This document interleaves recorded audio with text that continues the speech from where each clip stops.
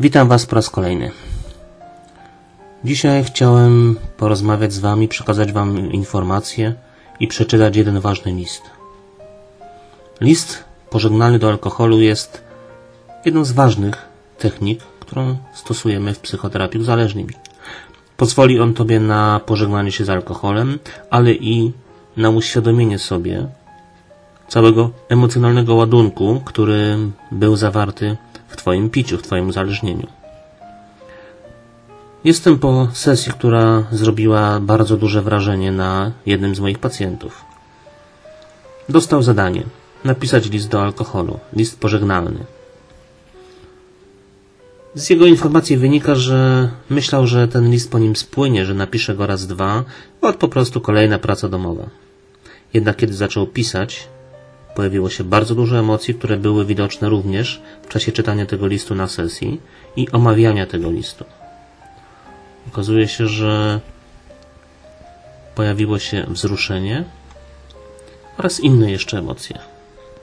Ten list jest na tyle cenny, że oczywiście za zgodą tego pacjenta przeczytam go.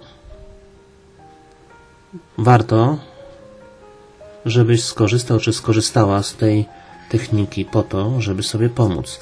Ale oczywiście ostrzegam, że warto zrobić to w konsultacji z terapeutą.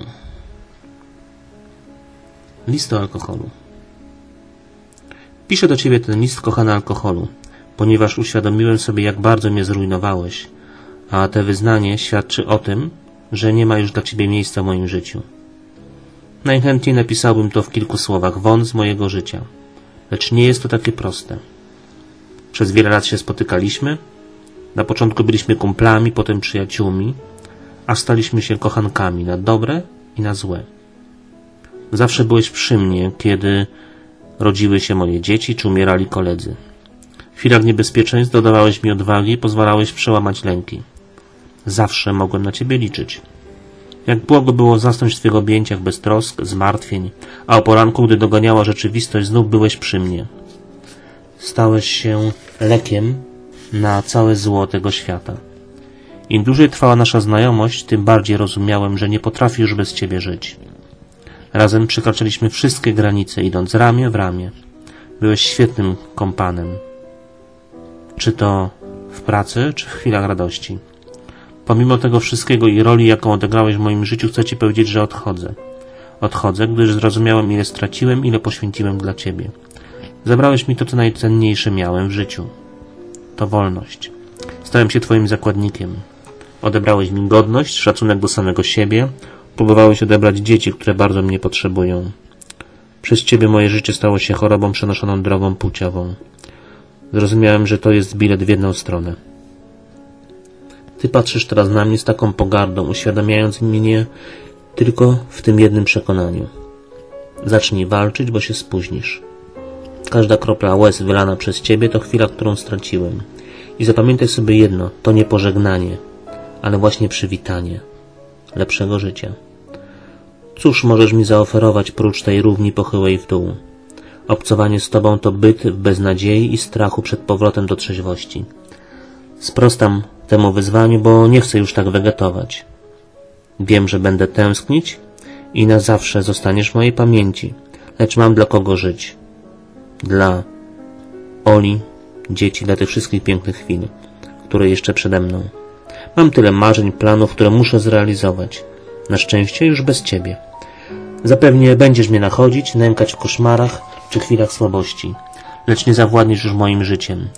Już nie leżę u Twych stóp, nie wydasz mi polecenia, a ja nie będę Ci posłuszny. Kiedyś daleko stąd mądry misjonarz powiedział mi Piotr, mimo bólu, cierpień i wątpliwości, które Tobą targają, nie poddawaj się, bo wiem, że szczęście nie zależy od ilości problemów, a raczej od naszej reakcji na nie. Żegnaj i nie wracaj więcej. Piotr.